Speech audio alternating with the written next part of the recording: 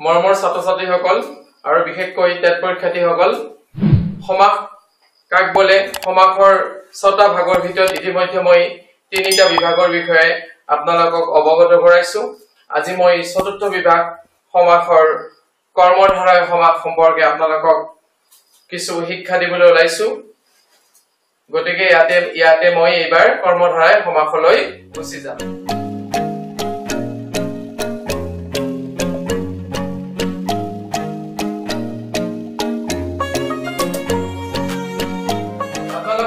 ইয়াতে চাৰি নম্বৰত আহিছো মই কৰ্মৰ ধাৰাই সমাস।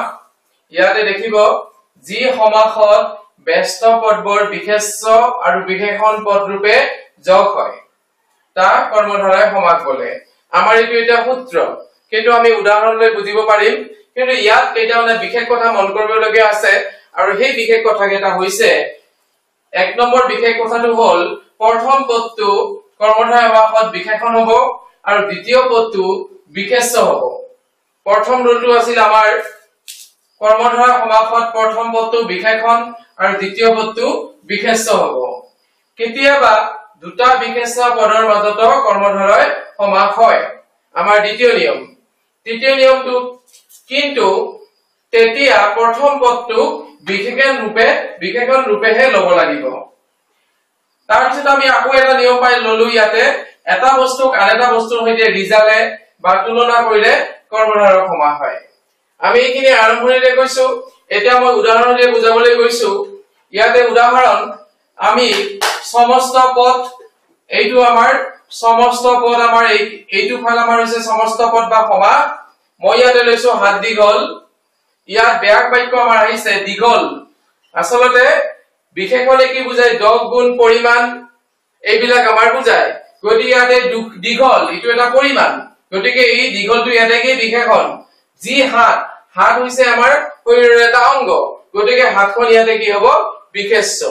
নিশ্চয় আপোনালোকে বুজিব পাৰিছে যে আমাৰ হাত দীঘল দীঘলটো আমাৰ বিশেষণ ৰূপে ইয়াতে যোগ হৈছে আৰু যি হাত হাতটো আমাৰ বিশেষ্য পদ আহিছে। তাৰপিছত আমি লৈছো শুক্ল পক্ষ। শুক্ল যি পক্ষ তেতিয়াহলে শুক্লটো আমাৰ বিশেষণ আৰু যি পক্ষ পক্ষটো আমাৰ কি?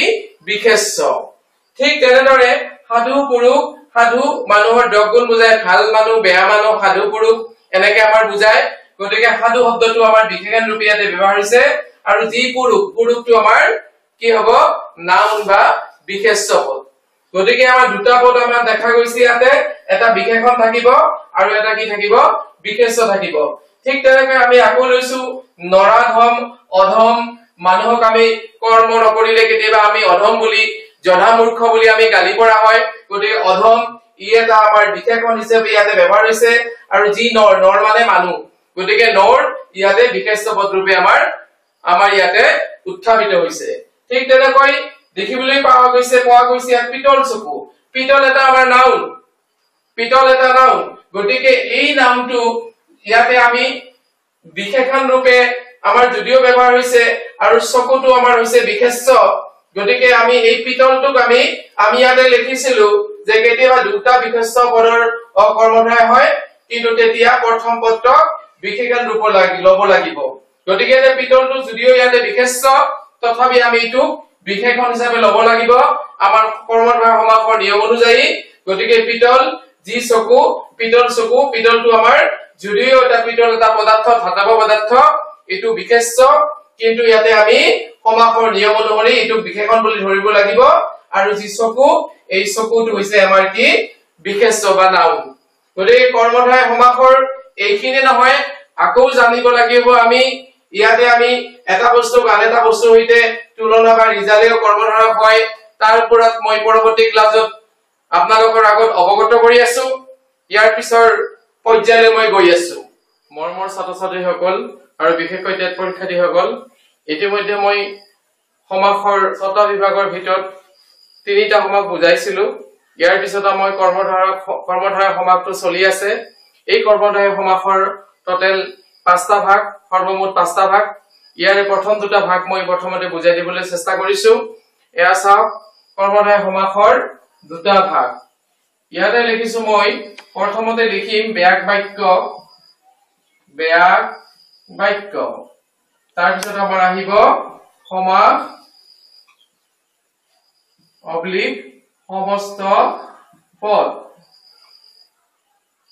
আমি ইয়াত প্ৰথমতে আহিছো। প্ৰথম আমি উদাহৰণ লৈছো। এক নম্বৰ উদাহৰণ চন্দ্ৰৰ তুল্য মুখ।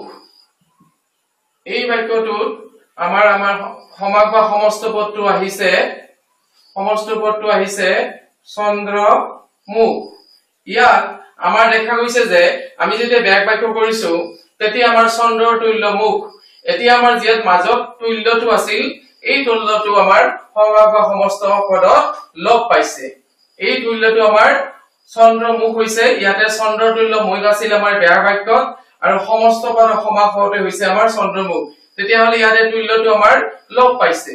গতিকে যদি এনেকৈ মাজত লগ পায় তেনেহ'লে এইটো কব মধ্যপদ লপি মধ্যপদ লপি কৰ্মধাৰয় কৰ্মধাৰয় সমাস।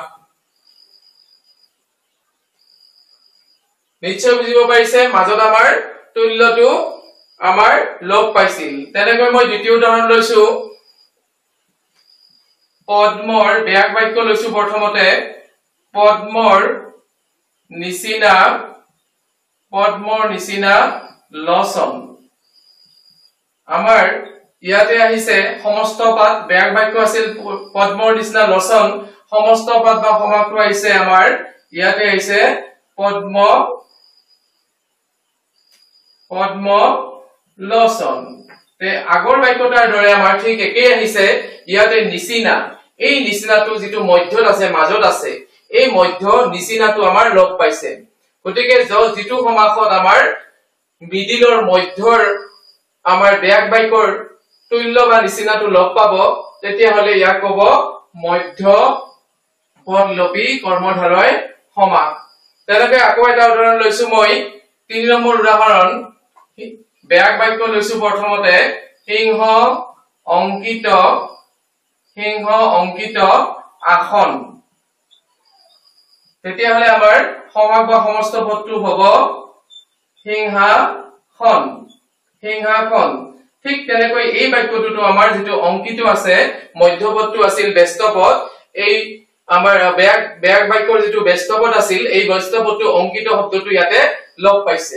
তেতিয়াহলে আমাৰ এই তিনিটা উদাহৰণতে আমাৰ মধ্য ব্যস্তপদ যিটো আছিল তুল্য নিচিনা বা অংকিত এইটো লগ পাইছে। গতিকে সিংহ অংকিত আসন সিংহাসন। গতিকে এইটোও হব আমাৰ মধ্য পদলপী কৰ্মধাৰয় সমাস। ইয়াৰ পিছত মই আকৌ ইয়াৰ পিছত আৰু এইটো হল এইটো হল আমাৰ এক নম্বৰ নিয়মটো হল ওৱান নং ৰুলটো হৈছে ওৱান নং ৰুলটো এইবাৰ টু নংলৈ মই গুচি যাম। টু নংটো টু নংটো প্ৰথমতে উদাহৰণ লৈছো মই। টুৰ ওৱান নম্বৰ লৈছো বেয়াক বাক্যটো লৈছো মই। বেয়াক বাক্যটো লৈছো ইয়াতে বিদ্যা সাগৰৰ সাগৰৰ তুল্য। ইয়াত আছে আমাৰ বিদ্যা সাগৰ ইয়াত চাওক আপোনালোকে যে ইয়াতে যিটো তুল্য এইটো শেষত আছে। শেষত আমাৰ এই তুল্যটো বিদ্যা সাগৰৰ তুল্য।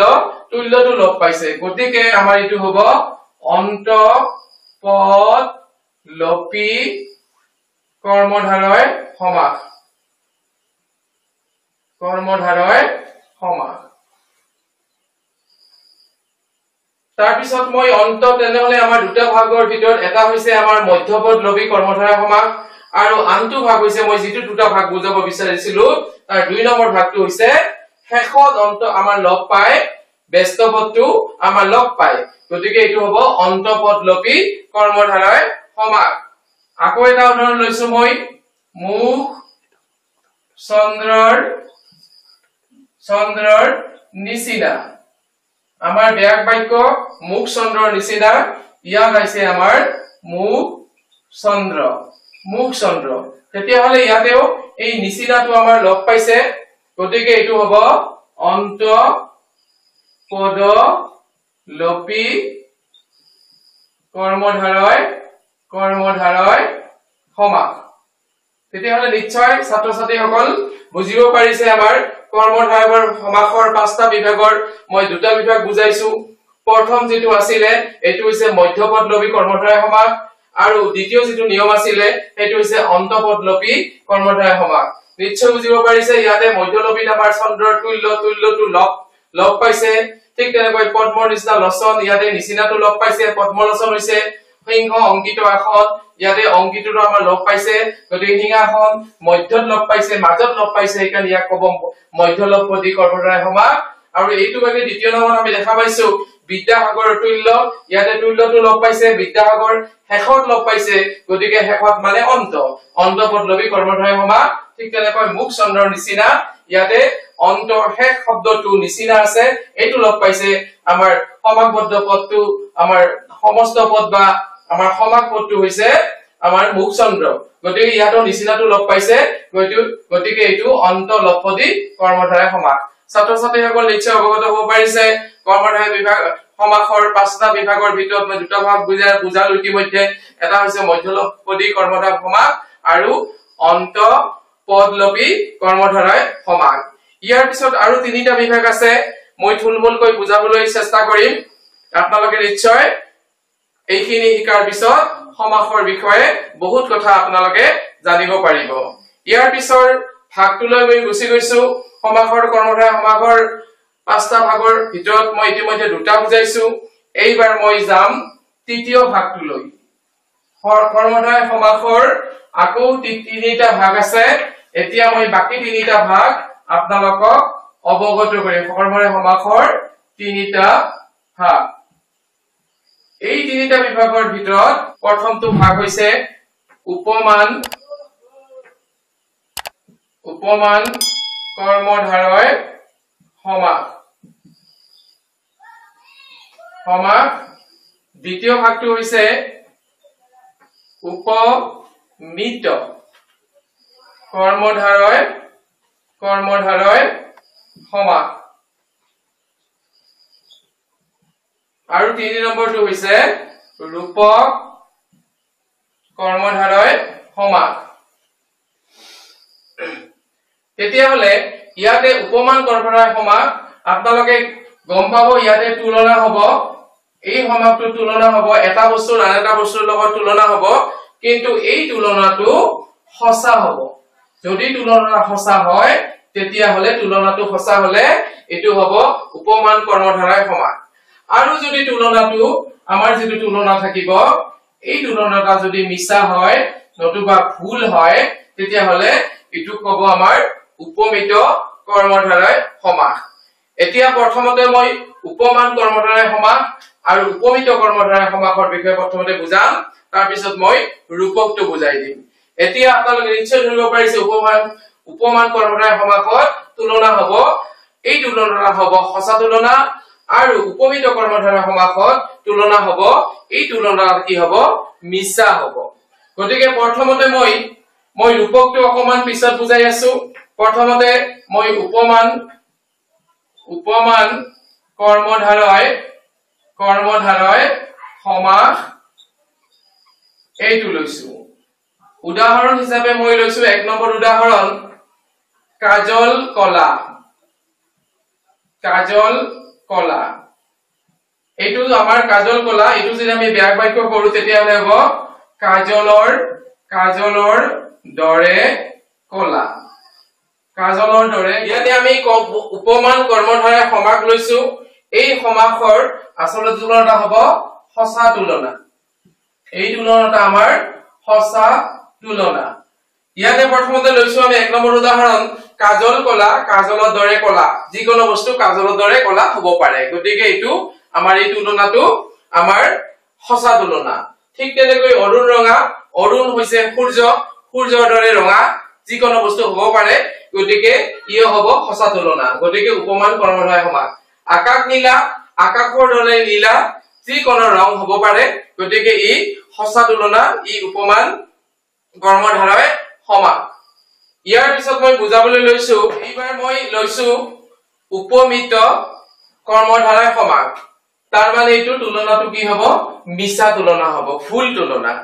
গতিকে ইয়াতে আমি ইয়াতে আমি এটা উদাহৰণ লৈছো। উদাহৰণটো হৈছে সিংহ পুৰুষ। সিংহ পুৰুষ। ইয়াতে আমি সিংহ পুৰুষ লৈছো। গতিকে সিংহৰ আমাৰ ব্যাক বাক্যটো হৈছে সিংহৰ দৰে যি পুৰুষ। তেতিয়াহলে ইয়াতে সিংহৰ দৰে যি পুৰুষ এজন মানুহ কেতিয়াও সিংহৰ দৰে হব নোৱাৰে। এজন পুৰুষ বা এজন ব্যক্তি তেওঁ কেতিয়াও সিংহৰ দৰে হব নোৱাৰে। গতিকে এই তুলনা আমাৰ মিছা তুলনা। গতিকে ই কি হব? উপমিত উপমিত কৰ্মধাৰয় সমাস উপমিত কৰ্মধাৰয় সমাস নিশ্চয় বুজিব পাৰিছে?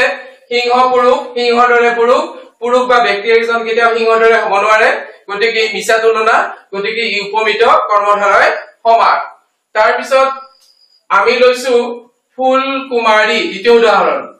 ফুল কুমাৰী ফুলৰ দৰে কুমাৰী ছোৱালী। কুমাৰী ছোৱালী। গতিকে এটা এজনী ছোৱালী কেতিয়াও ফুলৰ দৰে হব নোৱাৰে। গতিকে ই মিছা তুলনা ভুল তুলনা গতিকে এইটো কি হব? উপমিত কৰ্মধাৰয় সমাস। তাৰপিছত আমি লৈছো পৰ্বত গম্ভীৰ। পৰ্বত গম্ভীৰ। পৰ্বতৰ পৰ্বতৰ দৰে যিজন গম্ভীৰ। এজন মানুহ কেতিয়াও এখন পৰ্বতৰ দৰে গম্ভীৰ হব নোৱাৰে। গতিকে ই মিছা তুলনা গতিকে এইটো আমাৰ কি হব? উপমিত কৰ্মধাৰয় সমাস। তাৰপিছত আমি লৈছো বিষাদ সিন্ধু। বিষাদ সিন্ধু। বিষাদ সিন্ধু। বিষাদ মানে তেওঁৰ দুখটো মনৰ আবেগটো। দুখটো এই বিষাদটো সিন্ধু নদীৰ দৰে গভীৰ বুজাইছে। গতিকে মানুহৰ মনৰ দুখ কেতিয়াও সিন্ধু নদীৰ লগত তুলনা হব নোৱাৰে। গতিকে ই কি হব? ই কি হব? উপমিত কৰ্মধাৰয় সমাস নিশ্চয় বুজিব পাৰিছে? ইতিমধ্যে মই উপমিত আৰু উপমান এই কৰ্মধাৰয় সমাসৰ যি দুটা তুলনা ইতিমধ্যে আপোনালোকক বুজালো। ইয়াৰ পিছত মই কৰ্মধাৰয় সমাসৰ শেষ ভাগটো আছে আৰু সেয়া হৈছে ৰূপক। এইবাৰ মোৰ পাঁচ নম্বৰ যাব। কৰ্মধাৰয় সমাসৰ শেষ ভাগ হৈছে ৰূপক। এই ৰূপকত আমি দেখিবলৈ পাম আমাৰ যিটো ৰূপক আছে প্ৰথমতে শব্দটোত আমাৰ পদটো আহিব? অদৃশ্যমান। আৰু তাৰপিছত আহিব দৃশ্যমান। এই দৃশ্যমান তুলনা দুটাৰ মাজত যিটো তুলনা হব অদৃশ্যমান আৰু দৃশ্যমান। এই দুটাৰ মাজত তুলনা হলে আমাৰ এইটো কি কব ৰূপক সমাস হব। ইয়াতে মই দুটামান উদাহৰণ লৈছো এক নম্বৰ ইয়াতে লৈছো জীৱন জীৱন প্ৰদীপ। জীৱন প্ৰদীপ। এইটো আমি যদি ব্যাগ বাক্য কৰো তেতিয়াহলে আমাৰ এইটো হব জীৱন ৰূপ প্ৰদীপ। ইয়াতে জীৱন জীৱনটো আমি দেখিবলৈ নোৱাৰো। এইটো হৈছে আমাৰ অদৃশ্যমান অদৃশ্যমান আৰু প্ৰদীপ বা শিখা এডাল যদি জ্বলি থাকে তেনেহলে এইটো কি হব আমাৰ? দৃশ্যমান হব। তেতিয়াহলে জীৱন প্ৰদীপ হব আমাৰ ৰূপক এইটো হব আমাৰ ৰূপক কৰ্মধাৰয় সমাস। কৰ্মধাৰয় সমাস। ঠিক তেনেকৈ মই আকৌ এটা উদাহৰণ লৈছো। প্ৰাণ পাখি প্ৰাণ পাখি ইয়াতে লৈছো। আমাৰ ইয়াতে প্ৰাণটো প্ৰাণ যিটো আছে এই প্ৰাণটো আমাৰ কি? প্ৰাণটো হৈছে আমাৰ প্ৰাণটোক আমি কেতিয়াও দেখিব নোৱাৰো। এইটো আমাৰ অদৃশ্যমান আমাৰ অদৃশ্যমান আৰু পাখি আমি দেখিবলৈ পাওঁ। এইটো কি? আমাৰ দৃশ্যমান। তেতিয়াহলে আমি ব্যাগ বাক্য সজালে আমাৰ আমাৰ হব। প্ৰাণ ৰূপ প্ৰাণ ৰূপ পাখি। প্ৰাণ ৰূপ পাখি এইটো আমাৰ ৰূপ কৰ্মধাৰয় সমাস আমাৰ হব জ্ঞান ৰত্ন তৃতীয় উদাহৰণ লৈছো মই জ্ঞান ৰত্ন। ইয়াতে হব জ্ঞান ৰূপ ৰত্ন। তেতিয়াহলে জ্ঞান জ্ঞানটো অদৃশ্যমান। আৰু ৰূপ আমাৰ ৰত্নটো ৰত্নটো কি? দৃশ্যমান। ৰত্নটো দৃশ্যমান আৰু ৰত্ন আমি যিকোনো ৰত্ন আমি দেখিব পাৰো কিন্তু মানুহ এজনৰ জ্ঞান কিমানখিনি আছে আমি চাব নোৱাৰো গতিকে অদৃশ্যমান। অদৃশ্যমান যদি দৃশ্যমান তেতিয়াহ'লে আমাৰ হব কি? ৰূপ কৰ্মধাৰাই সমাস। মৰমৰ ছাত্ৰ ছাত্ৰীসকল ইতিমধ্যে মই কৰ্মধাৰাই সমাসৰ যিকেইটা ভাগ আছিল পাঁচটা বিভাগ আমাৰ মধ্যপদলবী কৰ্মধাৰাই সমাস অন্তপদলবী কৰ্মধাৰাই সমাস তাৰপিছত আমাৰ উপমান আৰু উপমিত। উপমান হৈছে আমাৰ সত্যৰ তুলনা আৰু উপমিত হৈছে আমাৰ মিছাৰ তুলনা আৰু ৰূপক। এই পাঁচটা বিভাগ সম্পৰ্কে কৰ্মধাৰাই সমাসৰ বিষয়ে আপোনালোকক অৱগত কৰিলো। নিশ্চয় আপোনালোকে ভালকে যদি চাই তেনেহলে আপোনালোকে বুজিব পাৰিব। আৰু ক্লাছটো ভাল লাগিলে এটা লাইক কৰিব বুলি মোৰ আশা থাকিল। ইয়াতে ক্লাছটো সমাপ্ত কৰিম